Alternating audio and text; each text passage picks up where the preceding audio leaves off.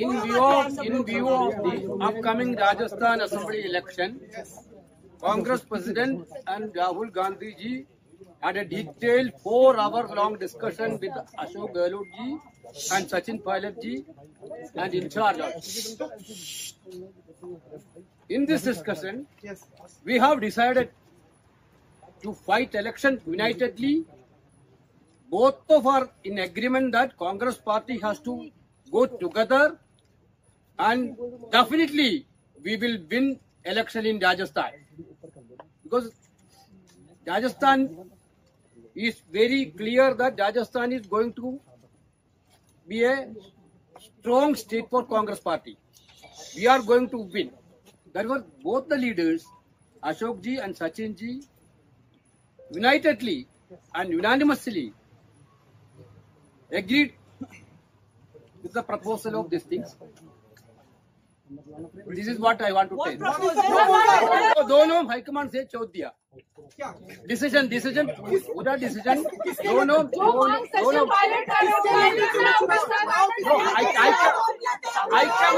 High command ने decision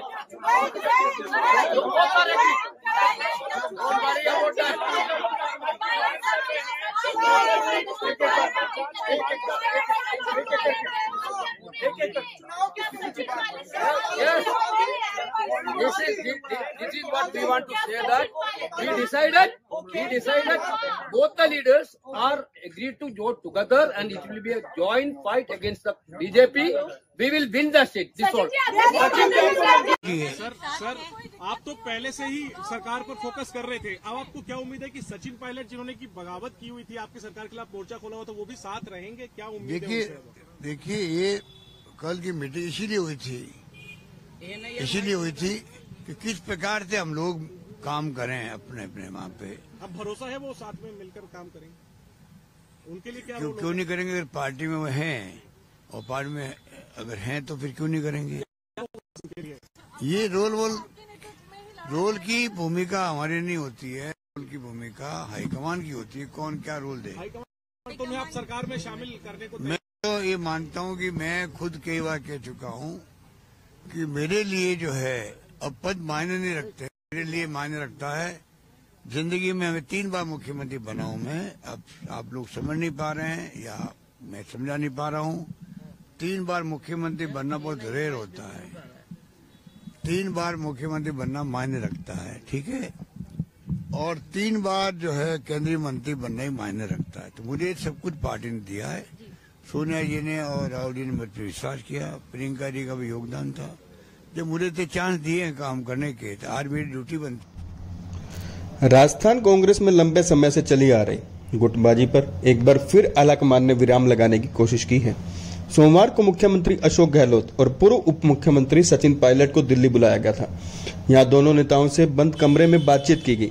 चार घंटे लंबी चली इस वार्ता में पार्टी अध्यक्ष मल्लिकार्जुन खड़गे के साथ पूर्व अध्यक्ष राहुल गांधी और केसी वेणुगोपाल भी शामिल थे। बैठक में आलाकमान दोनों नेताओं के बीच सुलह कराने में सफल रहा। बैठक के बाद जब गहलोत और पायलट बाहर आए तो वो चुप थे, लेकिन उनके चेहरों पर मुस्कान थी। उन्होंने न कोई बयान दिया और न ही कोई इशारा किया। मैराथन बैठक में क्या हुआ किस फॉर्मूले पर गहलोत और पायलट के बीच सुलह हुई। सुलह होने के बाद भी वो चुप्पी क्यों साध रहे?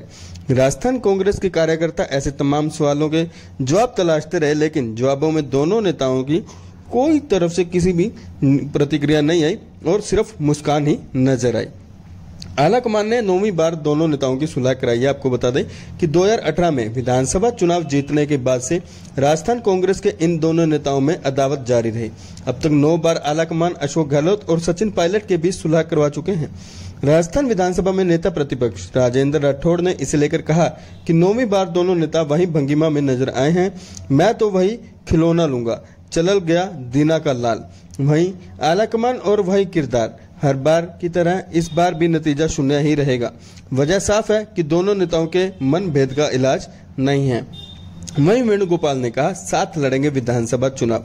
दिल्ली में मैराथन बैठक के बाद पार्टी के संगठन महासचिव केसी वेणुगोपाल ने दावा किया है कि दोनों नेता आगामी विधानसभा चुनाव एकजुट होकर लड़ने पर सहमत हुए हैं। उनके बीच के मुद्दों का समाधान आलाकमान करेगा। वेणुगोपाल ने यह भी बताया कि गहलोत और पायलट पार्टी के प्रस्ताव पर सहमत हुए हैं। हालाँकि उन्होंने प्रस्ताव और उस फॉर्मूले का कोई ज़िक्र नहीं किया, जिस पर दोनों सहमत हुए हैं। पहले गहलोत और फिर पायलट पहुँचे थे। खड़गे के आवास पर 10 राजाजी मार्ग पर सोमवार को हुई बैठक में गहलोत और पायलट अलग अलग समय पर पहुँचे थे। गहलोत शाम करीब छह बजे पहुँचे और उनके करीब दो घंटे बाद पायलट वहाँ पहुँचे। गहलोत और पायलट कांग्रेस के संगठन महासचिव केसी वेणुगोपाल के साथ मीडिया मीडिया से भी मुखातिब हुए। लंबे समय बाद दोनों नेता एक साथ मीडिया के सामने नज़र आ रहे थे, लेकिन उन्होंने बातचीत नहीं की। दोनों नेता साथ लड़ेंगे और कांग्रेस चुनाव लड़ेगी। बैठक के बाद वेणुगोपाल ने कहा कि राजस्थान विधानसभा चुनाव को देखते हुए कांग्रेस के पूर्व अध्यक्ष राहुल गांधी ने अशोक गहलोत और सचिन पायलट के साथ बातचीत की है। पार्टी ने फैसला किया है कि राजस्थान में कांग्रेस एकजुट होकर चुनाव लड़ेगी। गहलोत और पायलट इस पर सहमत हैं और राजस्थान में कांग्रेस निश्चित तौर पर चुनाव जीतेगी। बता दें कि बाहर सचिन पायलट क्यों बागी हुए थे? सचिन पायलट गहलोत सरकार में डिप्टी सीएम ज़रूर थे, लेकिन आए दिन गहलोत और पायलट गुट के बीच बयानबाजी होती रहती थी। साल 2020 में राजस्थान पुलिस के स्पेशल ऑपरेशन ग्रुप, यानी एसओजी ने सचिन पायलट को विधायकों को खरीद फरोख्त मामले में पूछताछ का नोटिस भेजा था। इसके बाद सचिन पायलट दिल्ली चले गए और विद्रोह का ऐलान कर दिया। सचिन पायलट सचिन पायलट अपने करीबी विधायकों के साथ हरियाणा के मानेसर के एक निजी रिजोर्ट में ठहरे थे। उनके समर्थन में अशोक गहलोत को सीएम पद से हटाने की मांग की गई। हालाँकि इसके बाद सचिन पायलट पर कार्रवाई की गई और उनके दो करीबी विधायकों को मंत्री पद से हटा दिया गया। अशोक गहलोत किसी तरह से अपनी सरकार को बचाने में कामयाब हुए। बाद में अशोक गहलोत और सचिन पायलट के बीच सुलह हो गई। सचिन के करीबी विधायकों को गहलोत कैबिनेट में फिर से जगह दे दी गई। पायलट के बगावती तेवर के आगे पस्त हो गए थे गहलोत। राजस्थान कांग्रेस में दरकिनार किए जाने के बाद से लंबे समय से खफा चल रहे सचिन पायलट पिछले कुछ महीनों से आक्रामक तेवर दिखा रहे थे और इस महाप्रदेश में भ्रष्टाचार के मुद्दे पर निकाली गई यात्रा के चलते विवाद और गहरा हो गया था। पायलट ने जून के पहले हफ़्ते तक उनकी मांगों का हल नहीं निकालने पर गहलोत सरकार को घेरने का खुला ऐलान कर रखा था। पायलट ने पूर्व मुख्यमंत्री वसुंधरा राजे के कार्यकाल में हुए घोटालों की जाँच कराने, पेपर लीक मामले में बेरोजगारों को मुआवजा दिया जाने और आरपीएस की भंग किए जाने की मांग की थी। उन्होंने इसके लिए 30 मई तक का अल्टीमेटम दिया था।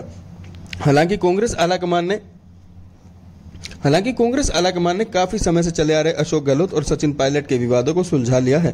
कांग्रेस अध्यक्ष मल्लिकार्जुन खड़गे और पूर्व अध्यक्ष राहुल गांधी की इन दोनों नेताओं के साथ सोमवार रात हुई मैराथन बैठक में यह सुलह हुई है। दोनों नेताओं के बीच सुलह के फॉर्मूले की अभी घोषणा नहीं की गई है लेकिन पार्टी हाईकमान ने ऐलान किया है कि राजस्थान के दोनों दिग्गज एकजुट होकर विधानसभा चुनाव में कांग्रेस की जीत सुनिश्चित करेंगे। राजस्थान में पार्टी के घमासान का समाधान निकालने के लिए लिहाज से ये कांग्रेस हाईकमान के लिए भी बड़ी सियासी कामयाबी है हाँ, कर्नाटक विधानसभा चुनाव में बड़, मिली बड़ी जीत के बाद तमाम राज्यों में कांग्रेस की सियासत की कामयाबी की पटरी पर लाने की मशक्कत में जुटे। हाईकमान के लिए राजस्थान में गहलोत सचिन की घमासान सबसे बड़ी सिरदर्दी रही है। खड़गे के आवास पर चली बैठकों के दो लंबे दौर के बाद रात सवा दस बजे की संगठन महासचिव के सी वेणुगोपाल ने अशोक गहलोत और पायलट की मौजूदगी में राजस्थान कांग्रेस के विवाद के सुलझ जाने का ऐलान किया। आगामी विधानसभा चुनाव में गहलोत पायलट की जोड़ी पर पार्टी को जिताने की पूरी ज़िम्मेदारी दी गई है। सचिन की पार्टी में क्या भूमिका रहेगी ये भी आपको बताते हैं गहलोत सचिन के बीच सुलह के फॉर्मूला अभी सामने नहीं आया, लेकिन संकेत है कि हाईकमान ने सचिन पायलट को उनकी राजनीतिक प्रतिष्ठा के अनुरूप महत्वपूर्ण भूमिका देने का रास्ता निकालने का संदेश दिया है और गहलोत ने इस पर सहमत होने की हामी भर दी है। साथ ही पायलट के समर्थक नेताओं को भी किनारे लगाने के प्रयासों को भी कांग्रेस नेतृत्व ने थमने का उन्हें भरोसा दिया है।